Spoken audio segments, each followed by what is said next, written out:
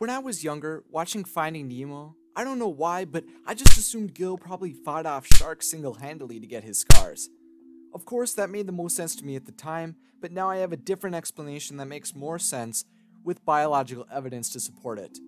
Hello, I'm Isaac from Wotso Videos, and today I'm going to get to the bottom of how Gill got his scars. My first thought when doing research on Gill, who was a Zanclus canescens, otherwise known as a Moorish idol, was to find out what kind of predators he would have in the ocean. They have two primary predators, the moray eels and the tomato clownfish.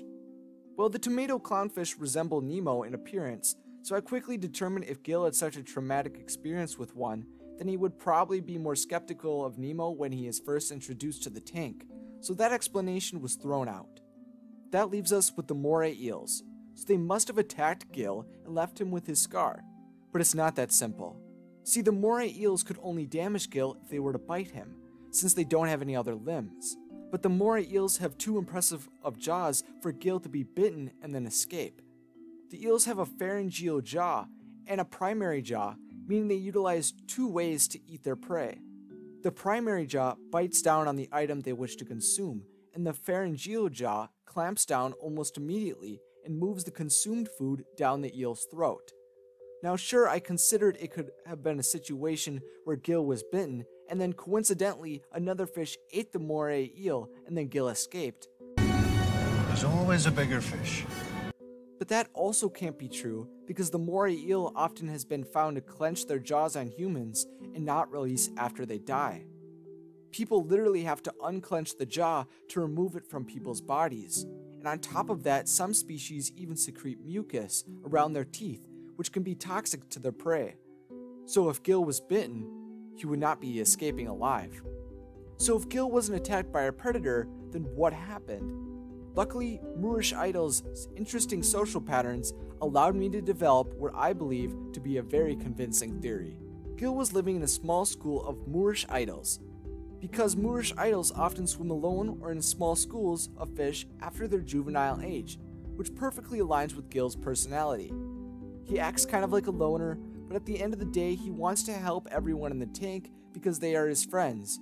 So in the ocean, I'm sure he had a similar group of Moorish idols.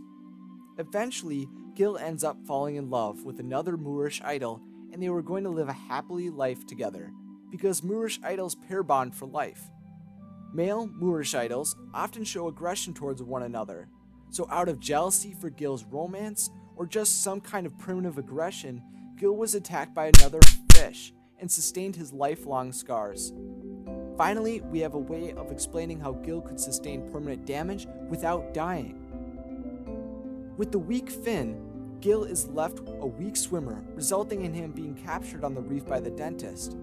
In captivity, Moorish idols often become destructive and do not survive very long. So Gill immediately gets to work with his tank mates, devising scheme after scheme to get them out to the ocean. And why would they be so easily convinced to follow Gill into the deep, dark, predator filled ocean when they were comfortable in the tank? Because they want to help Gill get back to his true love in the sea. At first, I wasn't sure if Gill falling in love was a necessity of the story, but Gill's bond with his mate gives him motivation for being attacked and why he would fight so hard to get back to the ocean. If you do or don't, or just think it needs some revising, then please put some ideas in the comments section. If you enjoyed today's Discovering Disney episode, then please subscribe to Wotso videos to stay up to date when we post videos like this one.